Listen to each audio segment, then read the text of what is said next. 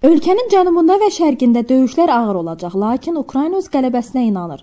Bunu Ukrayna prezidenti Vladimir Zelenski Avstriyanın federal kansleri Karl Nagomerlə görüşün yekunlarına dair brifinqdə deyib. O, Ukraynanın döyüşməyə və paralel olaraq Rusiya ilə dialoq aparmağa hazır olduğunu bildirib.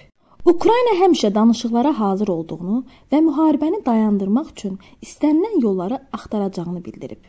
Eyni zamanda təəssüf ki, biz dövlətimizin şərqində mühüm necə dəyərlər həlledici döyüşə hazırlıq görürük. Bunu söyləmək mənim üçün çətin və proqnozlarla bağlı məsuliyyəti öz üzərimə götürmək istəmirəm.